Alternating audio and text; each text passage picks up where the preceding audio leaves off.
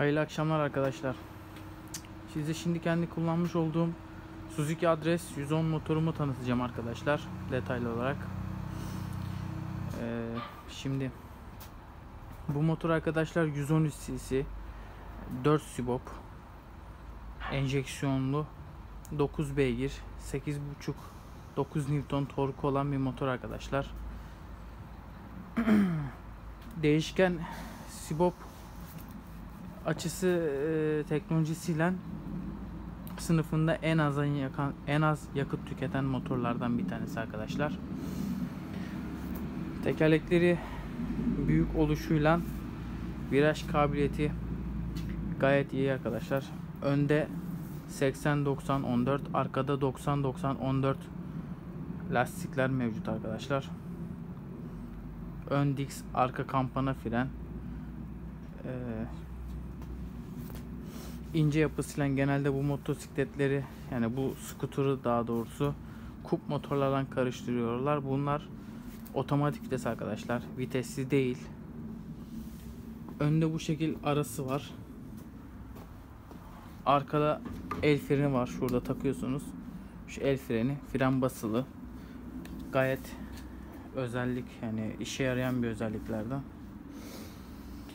Motorda titreşim yok. Gayet sessiz.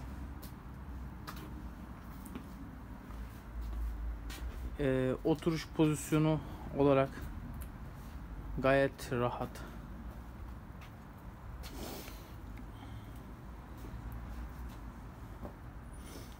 Bu ön far sürekli yanıyor arkadaşlar. Bu şekilde bir görüntüsü var. Çok kıvrak. Tam şehir içi bir motor arkadaşlar. Yani bundan uzun yola gidilmez. Yapısal gereği çok fazla rüzgar alıyor ve bu motorun gücü belli. Yani bundan ne kadar bir uzun yola gidebilirsiniz ki? Şehir içi çok kıvrak bir motor arkadaşlar. Onu size söyleyeyim. Ee, aralardan araçların arasından böyle 10 numara bir şekilde kaçabiliyorsunuz. Şanzımanı hemen size karşılık veriyor arkadaşlar.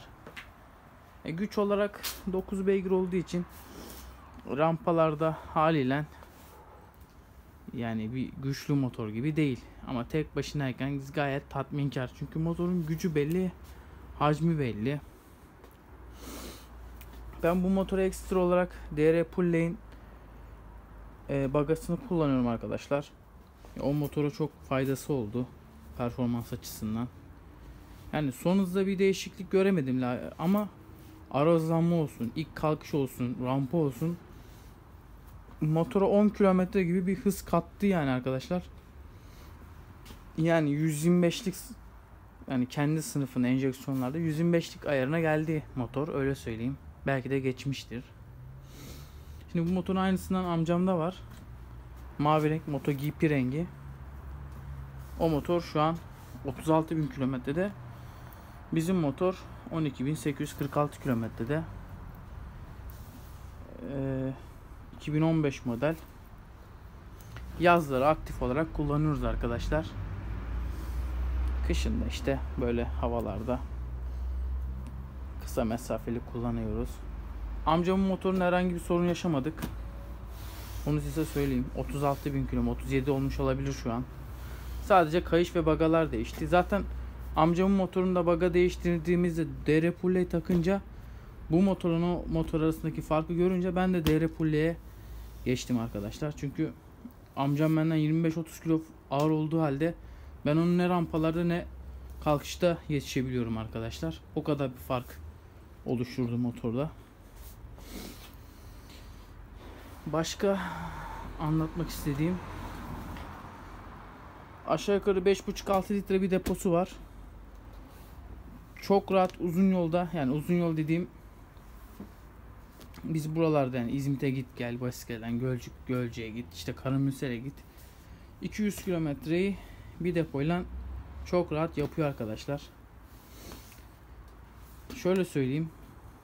Şehir içi 2.3 2.4 2.2 yakıt tüketimi var bu motorun. Normal kullanırsanız. Sıkıştırsanız da 2.5'ün üstüne çıkartamazsınız bu motoru da.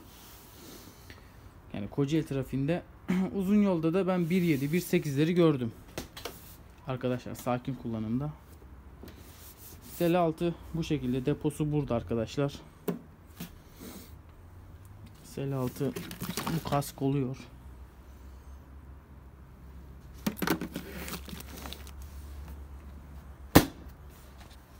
Şu şekilde bir şu an motor 2-3 gündür yatıyor. Enjeksiyon sesini duyuyorsunuz. Işık söndüğünde marş butonuna bir kere böyle basmanız yeterli. O kendi çalıştığında stop ettiriyor arkadaşlar. Yani startı bıraktırıyor. Bazen startı uzattı olabiliyor. Hani 10 marşta 3 2 marş 3 marş öyle yapabiliyor motor. Çalışması bu şekilde.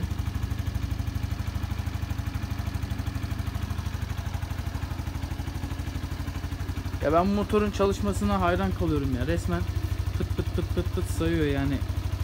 Her motor yani bende Yamaha NMAX de var. O bu kadar tık tık tık saymıyor yani. Ya da PCX var. Bu o konuda çok güzel yani arkadaşlar.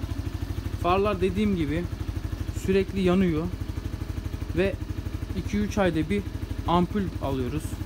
Yani onu manuele çevirmek lazım. Sürekli kesiyor ve değişmesi çok zahmetli.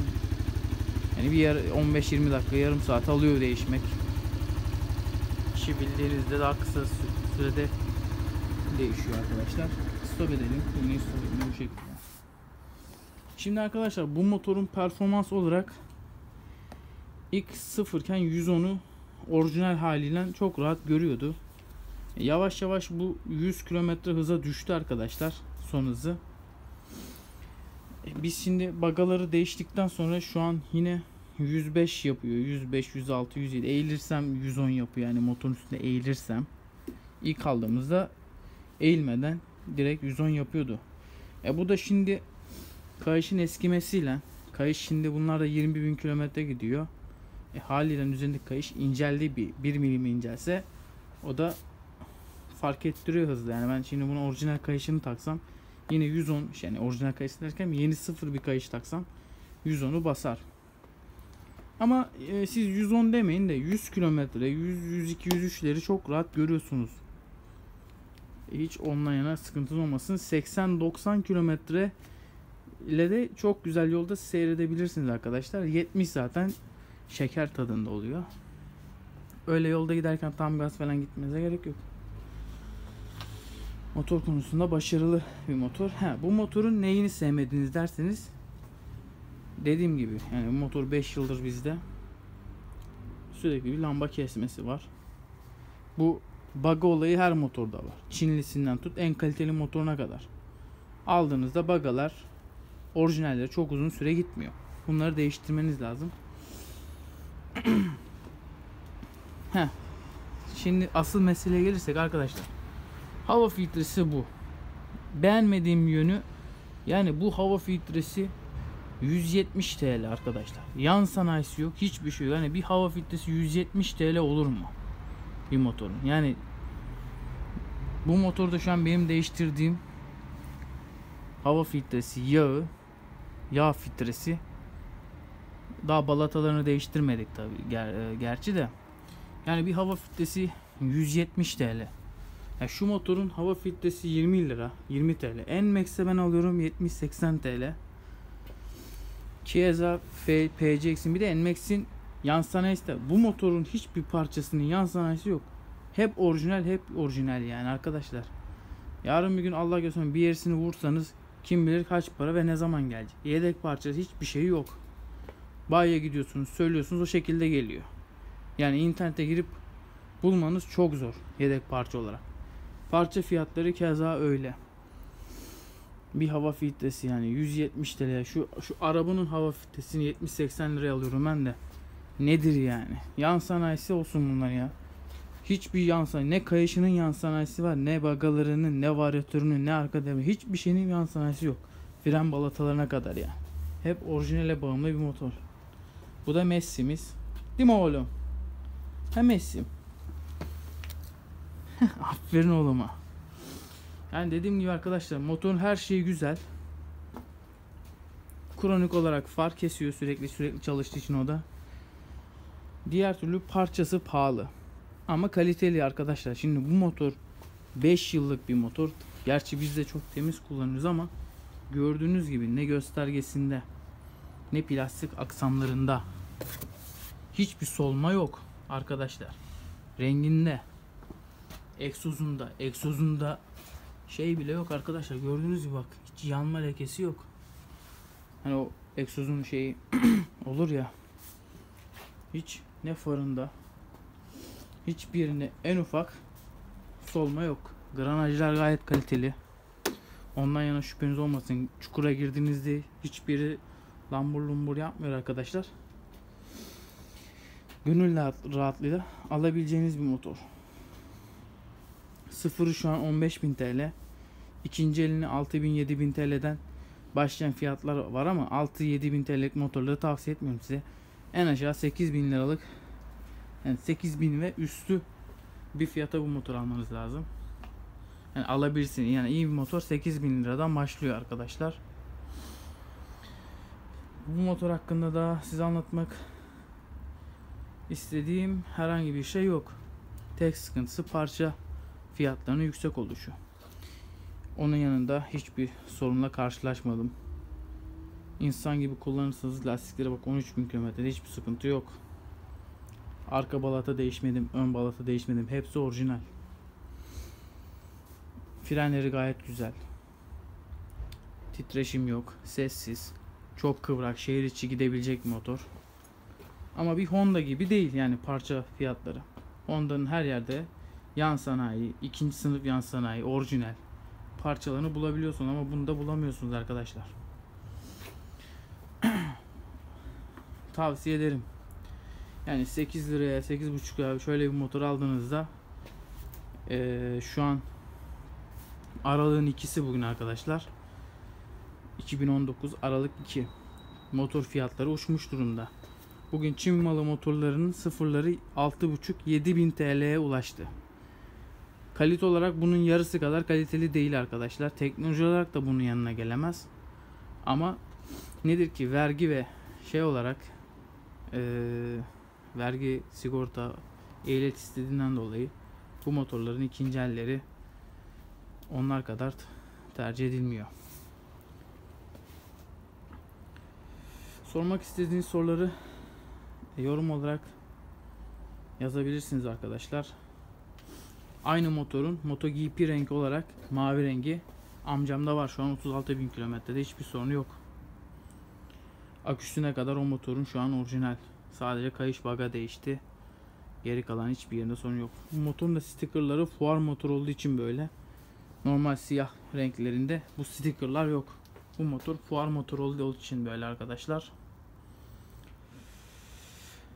Ee, bakım olarak ee, 800 mil şey yağ filtresi değişirse 800 mililitreye alıyor. Yağ filtresi değişmezse 700 mililitre yağ alıyor arkadaşlar. Buradan koyuyorsunuz. Altta tapası var. Bujisini ben iridium bujiyle değiştirdim. Daha da güzel çalışır oldu motor. Hava filtresi 10.000 kilometrede bir değişiyor arkadaşlar. Kayışı 20.000, 18.000. Şurada yağ filtresi var. O da 20 TL mi ne? O da 10.000 kilometrede bir değişiyor. E çok sık değiştirmeye gerek yok. Ben bu motorda yağ eksiltme yaşamadım arkadaşlar. Sıkıştırarak kullandığım halde hiçbir yağ eksiltme göremedim bu motorda. Yaşamadım yani. yani kaliteli skuterların arasında arkadaşlar. Hayırlı akşamlar size, sizlere.